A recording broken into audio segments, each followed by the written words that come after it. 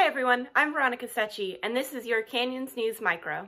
Firefighters work to stop the Jake fire from spreading any further. Planning a wedding can be stressful enough, but when COVID-19 pushes your save the date, it can be hard to pick up the pieces. Canyons News reporter Sarah Perez follows a couple doing just that. Kristen and Joseph, a Santa Clarita couple engaged, were looking forward to their wedding day this past April. But with COVID 19, their vows were placed on hold. Our wedding was originally supposed to be in April, and we've now postponed it to June. This whole process has been really weird and really difficult, and it's affected a lot of things. After the engagement, the two spent this past year planning the wedding and finding the perfect home to start their lives together. The hardest part for this uh, has just been putting everything on hold. I got a new place for us.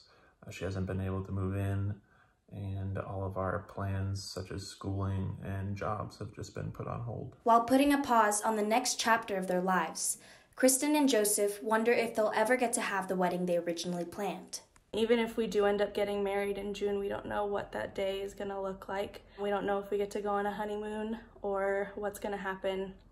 But at the end of the day, I think it comes down to just him and I and our marriage, and we know that the party isn't what's most important, but at the same time, we want to have a little bit of normal too. Knowing that normal might be hard to achieve in days like these, they continue to stay hopeful for what's to come.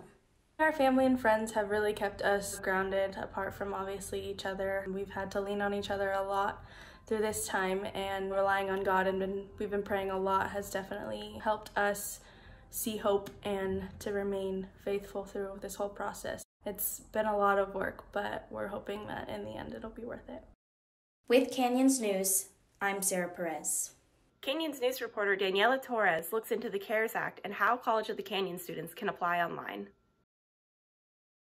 Due to COVID 19, Congress has passed the Coronavirus Aid, Relief, and Economic Security Act with the Fund for Higher Education Emergency Relief. COC students who have expenses due to the move of on campus classes are encouraged to apply. COC will be dispersing their CARES Act emergency grants $700 per student until the funds are no longer available. If you meet the few requirements, all you have to do is fill the form with your student ID, first and last name, along with your email and date of birth. Due to limited funding, apply as soon as you can. Quarantine has many people looking for company in the form of furry friends. But what does it mean to adopt responsibly? I'll take a look into this next. The County of Los Angeles' Castaic Animal Shelter has seen a change in pet adoption rates since COVID-19 sent everyone indoors. We have a um, high adoption rate with our animals here at the shelter. Um, I think with people staying at home, um, they want somebody to keep company and they're coming to our shelter and, and adopting from, so that's really great for us. Since March 15th, pet adoptions have increased significantly. Chavez says while this is a good thing, one concern he has is what will happen when the quarantine lifts and people return to a normal life. A concern that some pet owners echo. So many people are saying that they're home and that they need something to get them through this and you know like they got laid off or something and you see other people suggest that they adopt an animal so like there's a lot of people who are just like wanting or rushing into it i think and like they're not thinking about the bigger picture, obviously. In accordance with social distancing, the shelter asks those interested in adoption to go online to the county's website to make an appointment to meet the animals. It's probably good that there's waiting lists because then people have to really think about it and like if they get called in for like you know oh okay we have an animal that's ready to be adopted as this person is realizing well like they have to go back to work or they have to find a job soon then hopefully only the people that actually want to take care of an animal for its entire life will be the ones to go back in. Right now, adoptions are free through the County of Los Angeles. Those interested can visit the county's website to view available animals. For Canyons News, I'm Veronica Secchi. After being stuck inside for nearly two months, people are excited to be getting back outside and into fresh air. Canyons News reporter Jessie Abarquez takes a look into how people are reacting to hiking trails and beaches being reopened.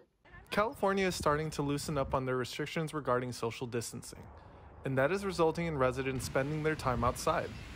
Parking for beaches and local trails have begun to regularly fill up as everyone takes to nature again. John Gardea, a resident from the San Fernando Valley, took this opportunity to explore Santa Clarita's Towsley Canyon trails for the first time. Uh, it's been a few weeks since I've actually been outside and like been active, like in this sort of setting. So, you know, it's, it's nice to get out here and, like I said, see the see the outdoors. Uh, I've never done this loop, so it was it was nice. I'll definitely be back. With Canyons News, I'm Jesse Abarquez. And that's all for this week. Thanks for tuning in. For more information, go to our website at Canyons News. For Canyons News, I'm Veronica Secchi.